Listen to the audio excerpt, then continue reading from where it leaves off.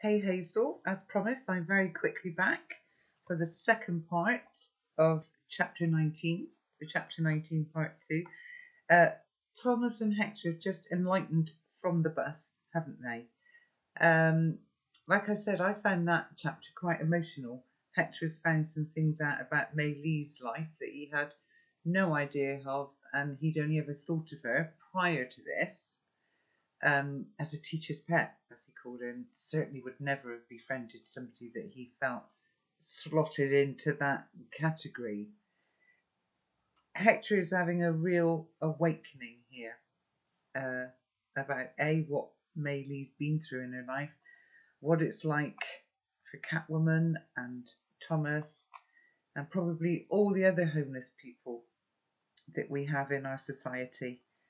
Uh, and yeah, like I said, he's having an awakening, I think, and uh, I'm sure we're going to see some great differences in Hector as we get towards. We're almost at the end of this book now, but we shall see. So they they've gotten off. Oh, and he was also he was feeling uncomfortable, wasn't he? Because he's dressed as a homeless person and he's now been looked at and regarded as one by a young girl with headphones on on the bus stop, wasn't it? So Let's see.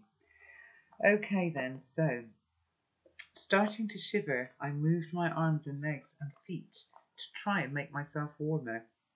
Just as I was wondering if we were even going to make it to the cathedral before dawn, a bus rolled up beside us. A big N15 glowing out at us from the front. The woman muttered, Finally, and pushed past me and Thomas onto the bus. It made me want to stick out my leg or something and trip her for being so rude to Thomas, but he held me back and let her pass. Remember, eyes down, pass up, and keep close behind me, whispered Thomas before stepping onto the bus and showing his pass. I held mine up too, but the woman behind the wheel didn't seem to care and was driving away again before I had even got up properly. We'll stay down here, said Thomas, grabbing a seat next the door. It's just three stops now. I silently sat down next to him. Right at the back of the bus in the corner, I could see someone half lying down on the seat, a coat covering up the top part of their body. London, it seemed, was full of night riders. Next stop, Chancery Lane. Next stop, Shoe Lane. At each stop the doors opened to let people off and let gusts of air blow in. I was feeling quite hot now that we were back on a warm bus, wearing so many layers, and was glad we were sitting by the doors. Thomas had his eyes closed, and I wondered if he was thinking the same thoughts as me.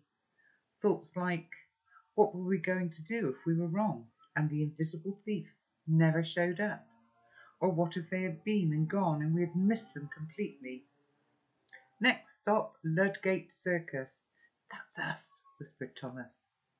As the doors glided open, I shuffled out after him and onto the empty street. Looming before us like a giant stone ship was St. Paul's Cathedral, except instead of being white and still, its whole face had been turned into one big cinema screen constantly changing pictures of men and women in army uniforms flashed up onto its pillars and bricks and across its golden clock that told us it was nearly 11.45. It was the VE Day celebrations, just like Catwoman had described. Grabbing my arm, Thomas pulled me behind the corner of a shop and whispered, Let's keep a lookout from here for now. The concert had ended, so the cathedral should be empty. Keep your eye out for any strange movement. Remember, we don't know if they might try to say, take something from Queen Victoria over there or target something inside. If we're at the right church, that is. I peeked around at the giant milky white statue of a woman with a golden crown on her head. She was carrying a stick and ball as if she was off to play rounders. Maybe this really was the place thief sorry, maybe this really was the place the thief would try and steal from next. He would find it super easy to hang down from the Queen's neck to take all her sports equipment. As we waited, I looked around to see if there were any lumps pretending to sleep in doorways that might suddenly start moving and wriggling like a human plant. But there weren't. There was only a couple holding hands and walking towards the cathedral on the other side of the street, and they were giggling loudly. Thomas, I think we're at the wrong place, I whispered, tugging on Thomas's arm. The traffic lights and building lights and everything are all working. Nothing's been switched off. Oh, that's what the thief does, isn't it? But Thomas was looking up at the cathedral and grinning. I think we're at exactly the right place. Look, up there. The light inside the cathedral isn't on. What light? Thomas pointed up to the second row of pillars that stood above the cathedral's giant doors. See the window there? he said. Well, it's always lit. In all my twenty years on the streets, twenty years, and on the buses, I've never seen it go to a single night without being lit. Maybe they switched it off tonight because of the VE show, I suggested. Thomas shook his head. That light wouldn't be switched off today of all days. It's meant to be a sign of perpetual hope to everyone who sees it. I think your thief is already inside, picking out something priceless to steal. Even more priceless than the Queen's golden stick? I asked, wondering what on earth could be more expensive than an actual stick made of gold. Infinitely, whispered Thomas. We need to hurry. Come on, there's no one around now. Moving quickly, Thomas led me past a row of shuttered shops and up to an office building standing directly opposite the side wall of the cathedral and surrounded by a row of short black gates. Behind the gates at the top of the stairs, next to a shiny black office door, was a golden sign with two swords crossed like an X and the words Administration Offices of St. Paul's Cathedral stamped right across it. Glancing around to check we were still alone, Thomas opened the swinging gate. But instead of climbing up the ste- steps that led to the office door, he turned to go down some steeper steps that looked as if they led to an underground cave. I followed him down and we reached a smaller door with a small round window above it and a much bigger window next to it. Thomas looked down at me. Think you can do it? It's the only way to get in without being seen or setting off any alarms. I wanted to shake my head. It was a crazy idea. How was I supposed to fit in through that tiny round window? I was way too big, and that window was too small and high and probably not even open. But I thought of Mae Li's warning that the plan was brave and would work only if I was too. So I gave a silent nod instead. Shh, wait, said Thomas, freezing. I froze too. On the pavement above us, we heard footsteps ringing out. They crossed over us and faded away into the distance. Okay, nodded Thomas, helping me take off my rucksack, my puffer coat, and my dad's scarf. Keep the hat on, just in case, he whispered, giving it a pat. Now, remember, there's no alarm on the window because it's so small. Just push through gently, make sure you land safely, and then come unlock the big window for me. Remember, you have to press the green button on the wall.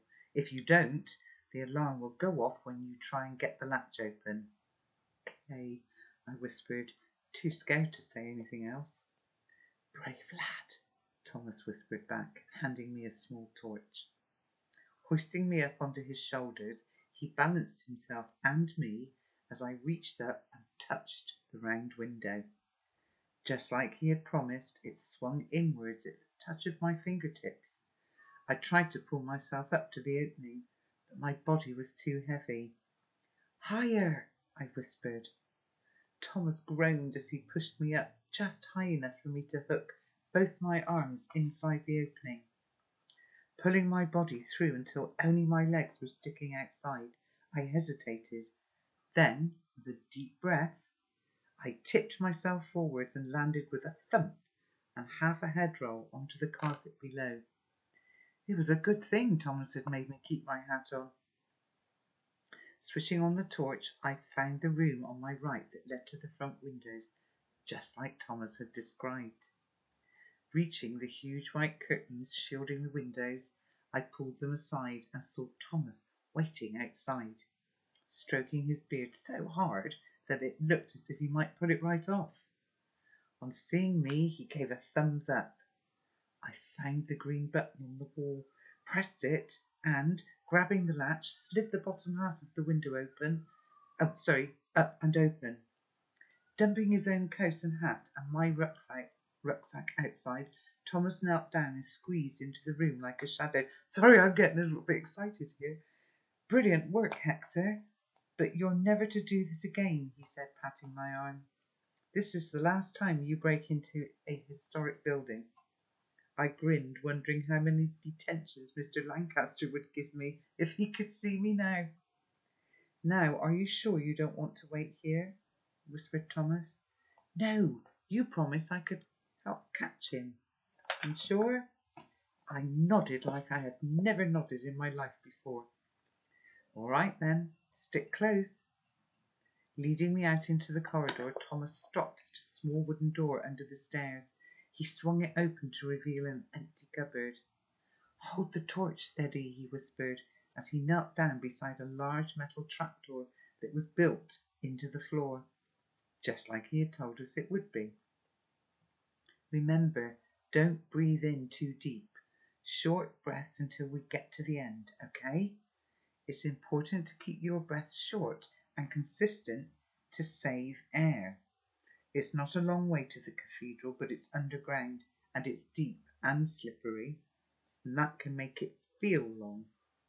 At least that's how I remember it from the days I used to work for the archives team. I was too excited to reply, and Thomas was too excited to wait for an answer. I held the torch as still as I could as he grabbed the metal ring and slowly lifted the trapdoor open. Beneath it was a short flight of stairs that led down into a pool of dark nothingness. Here we come, Paul, promised Thomas as he climbed down into the hole and was quickly swallowed up by the tunnel below. As I followed him down, the walls and floors all around us began to tremble. Paul's clock was striking midnight, and his chimes were ringing out to tell the world that a new day was about to begin. Oh, oh, how exciting, Hazel. Sorry, I got a bit tongue tongue tied there, didn't I? Because I was getting terribly excited with that chapter. Well, we know why he knows all this because it says of his days of working in the archives. So he knows the layout of the buildings and everything that he had said to Hector that he would see or touch or feel or discover. Actually, that's exactly how it happened. So I get it now because I was thinking that chapter called Paul and the Midnight Mass. I'm thinking, who's Paul?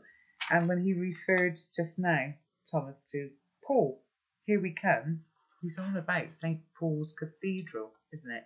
Maybe he regards it as a friend. You know, if, if, if he, yeah, he must do. I think that's lovely.